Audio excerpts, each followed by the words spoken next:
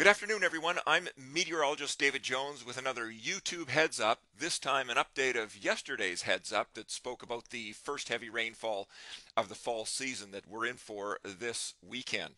Let's take a look at the uh, satellite image of the Pacific here. Vancouver is this triangle up in the top right hand side, and the line across uh, this area here indicates about 30 degrees north latitude. The system that we're concerned about for the next 24 to 36 hours is out about the date line right now.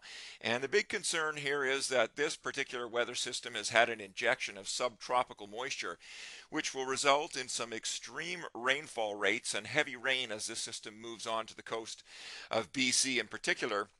There are a couple of locations, the outer coast of West Vancouver Island and the area of the Sunshine Coast stretching down to Squamish and perhaps into Metro Vancouver, as we'll see in a minute, are in for some fairly heavy to possibly extreme rainfalls.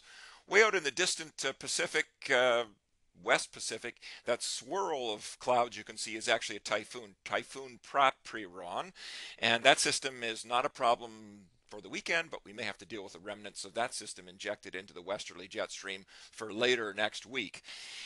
Back to the short term here. Here's the forecast for tomorrow afternoon at 5 p.m., courtesy of uh, CFB Comox.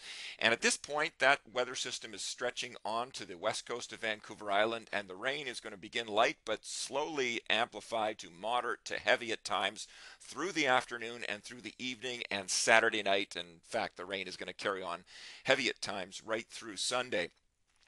Here's a, a 24 hour precipitation total from 5 p.m. Saturday through 5 p.m. Sunday. And again, these deep purple shades indicate in excess of 100 millimeters of rain in that 24 hour period from dinner time Saturday through dinner time Sunday. So because we're only talking about 24 hours here, here's some spot forecasts for the south coast, uh, ranking from highest to lowest.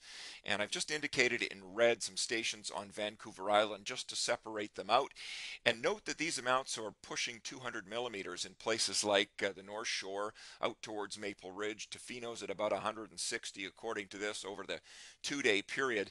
These uh, forecast amounts from the models have been fluctuating somewhat. So we are just going to ease into this one with the amounts in the public forecast currently reflecting only from say 50 to 150 millimeters of rain at present. But as the weekend progresses, we may have to increase the rainfall amounts as we get a better handle on just how much rain is coming with this weather system. Here's another look at a few more stations from uh, Wascap on Wascamp on Vancouver Island down to Victoria Harbor.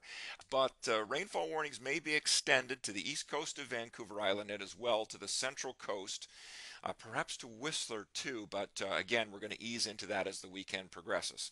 I want to just thank you again for watching and uh, stay tuned through the weekend for some updates on the weather warnings from the Weather Office at Environment Canada. Thanks again.